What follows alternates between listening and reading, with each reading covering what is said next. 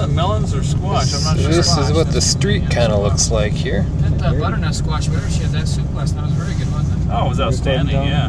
Mm-hmm. I've had several things over the years that were made with coconut milk that were particularly good. And, and coconut milk by itself is nasty stuff, all in all. You know, uh, so it's it's neat. You ever, you ever had a uh, coconut curry? yes, it's excellent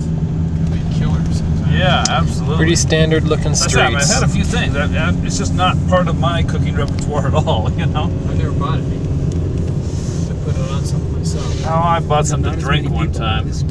No, not yet. Nearly. And, uh, Maybe you know, they're hungover. Interesting. In two straight ahead. Yeah, you're going on the you now.